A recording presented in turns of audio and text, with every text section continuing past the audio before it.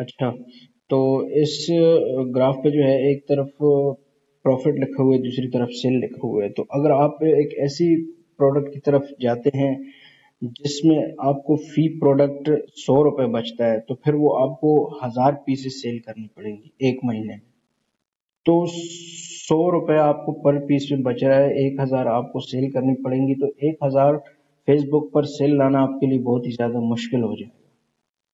वो फिर बहुत ज़्यादा आपको जो है वो तंग भी करेगा और थोड़ा सा मुश्किल हो जाएगा आपको एक लाख अचीव करना। ऐसी प्रोडक्ट में, जिसमें आपको सौ रुपये एक प्रोडक्ट में बच रहे हैं। उससे ऊपर अगर हम थोड़ा सा जाएँ तो अगर आप किसी ऐसी प्रोडक्ट पर हाथ डालते हैं, जिसमें आपको एक प्रोडक्ट में 500 प्रॉफिट बच रहा है, ठीक है? एक प्रोडक्ट में आपको पाँच सौ रुपये बच रहा है तो वो फिर आपको 200 प्रोडक्ट सेल करनी पड़ेंगी। तो मैं ये समझता हूँ कि 200 प्रोडक्ट पर मंथ जो है वो अचीवेबल है। मतलब आप इसको अचीव कर सकते हो इजीली सेल कर सकते हो। लेकिन इससे भी बेहतर ये हो सकता है कि अगर आप कोई ऐसी प्रोडक्ट पर हाथ डालते हैं, जिसमें आपको एक हज़ार रुपये प्रोडक्ट में बच रहा है तो फिर आपको पूरे महीने में सिर्फ़ सौ सेल्स करनी पड़ेंगी। हज़ार रुपये आपको एक प्रोडक्ट पे बच रहे हैं तो आपको फिर सौ प्रोडक्ट सेल करने पड़ेंगे और आपकी जो है वो आमदनी जो है वो एक लाख पर मंथ हो जाएगी। तो मेरे पास एक प्रोडक्ट है जो मैं आपको बताऊँगा लेकिन वो सिर्फ़ मैं आपको बताने एग्ज़ाम्पल के तौर पे बताऊँगा।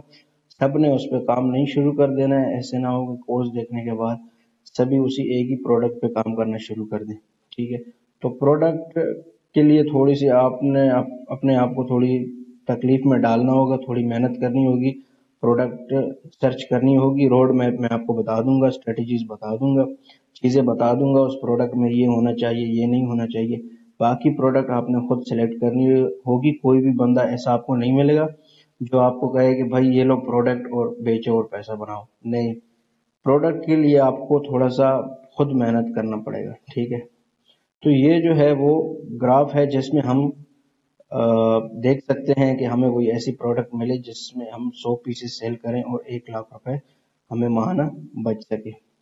तो वापस चलते हैं स्लाइड की तरफ़। ठीक है। तो गोल सेटिंग तो हमारे क्लियर हो गया कि भाई, हमें एक लाख रुपए पर मंथ चाहिए। कैसे चाहिए? ऐसी प्रोडक्ट चाहिए जो हमें एक हज़ार रुपए फ़ी प्रोडक्ट बच सके और हमें मंथली सौ पीसेस सेल करने हैं, जिससे हमारा एक लाख रुपए बाहर निकल आए। सौ से ज़्यादा सेल होंगे। लेकिन ये है कि फ़िलहाल मैंने एग्जांपल देने के लिए आपको सौ पीसेस लिखे हैं, ताकि आपको देखने में आसानी हो। अक्सर लोगों का यही वो होता है कि यार हमने जो है वो कैसे प्रोडक्ट कौन सी सिलेक्ट करनी है और कैसे पैसा बनाना है। तो वो दो चीज़ें मैंने आपको क्लियर कर दी। एक तो जो एक लाख आपकी माइंड सेट है, वो होना चाहिए, ठीक है? और दूसरी तरफ़ अब हम चलते हैं प्रोडक्ट सिलेक्शन के प्रोडक्ट आपने कैसे सिलेक्ट करनी है और उसके नीचे जो है वो है हाउ टू सस्टेन मतलब सप्लायर कैसे देखना है आपने? सप्लायर का मतलब ये ये मैं आपको एक ओवरव्यू दे रहा हूँ, इसको हम डीपली डिस्कस करेंगे आगे, ठीक है ना? ये सिर्फ़ ओवरव्यू है कि हाउ टू सस्टेन मतलब आपने ऐसी प्रोडक्ट तो देख ली जिसमें आपको एक हज़ार रुपये फ़ी प्रोडक्ट बच रहा है। लेकिन क्या वो सस्टेनेबल है? क्या वो मार्केट में फ्यूचर के लिए अवेलेबल है?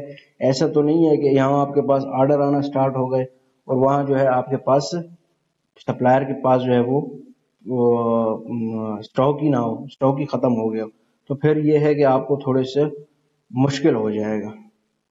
तो इसमें आपको सप्लायर का जो है वो ख़ास ख्याल रखना है। ऐसा सप्लायर सेलेक्ट करना है। ठीक है, वो भी हम आपको डिटेल में बताएँगे आगे और आप उसमें समझ सकते हैं कि हमने, आपने कैसा जो है वो सप्लायर सेलेक्ट करना है। ठीक हो गया।